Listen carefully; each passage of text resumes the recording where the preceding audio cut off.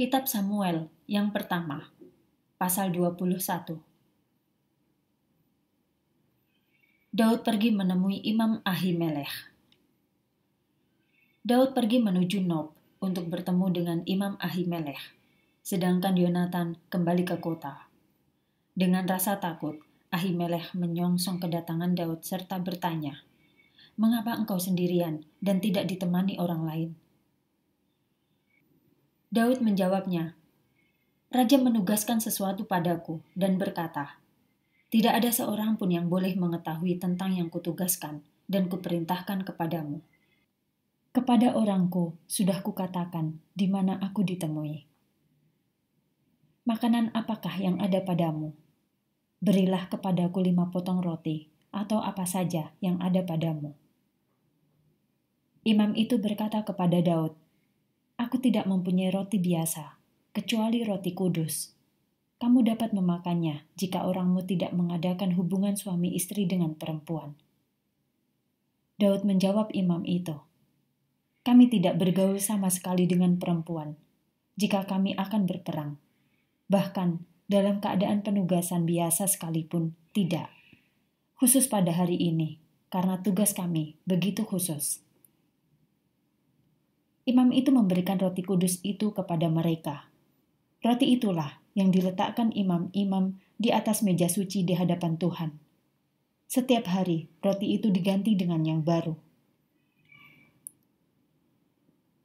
Salah seorang pegawai Saul ada di sana pada hari itu. Ia khusus melayani Tuhan. Namanya Doeg, orang Edom, pengawas gembala-gembala Saul. Daud bertanya kepada Ahimelech, "Apakah engkau mempunyai pedang atau tombak di sini?" Tugas raja itu penting sekali dan mendesak, sehingga aku berangkat dengan cepat. Aku tidak sempat membawa pedang atau senjata lainnya. Imam itu mengatakan, "Pedang Goliat, orang Filistin yang telah kau kalahkan di lembah Ela itu, ada di sini, terbungkus dalam kain di belakang efod itu." Jika engkau ingin memakainya, ambillah. Daud menjawab, Pedang Goliat. Tidak ada pedang yang lain seperti itu. Berikanlah itu kepadaku. Daud melarikan diri kepada musuh di Gad. Pada hari itu, larilah Daud dari Saul, pergi kepada Raja Akhis dari Gad. Para pegawai Akhis mengatakan, Apakah ia bukan Daud, raja negeri Israel? Dialah satu-satunya yang dinyanyikan orang Israel. Mereka menari dan menyanyikan nyanyian ini tentang dia.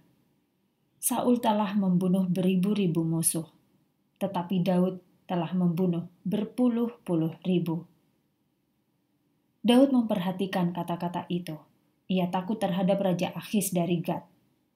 Daud memperlihatkan seakan-akan dia seorang yang sakit jiwa, dan di depan mereka berperilaku seperti orang gila. Ia menggores-gores pintu gerbang dan mengeluarkan ludahnya yang meleleh ke janggutnya. Akhis berkata kepada para pegawainya, Lihatlah orang itu, ia orang gila, mengapa kamu membawanya kepadaku? Aku mempunyai cukup orang gila, aku tidak butuh supaya kamu membawa orang itu ke rumahku untuk bertingkah gila di hadapanku. Jangan biarkan orang itu datang lagi ke rumahku.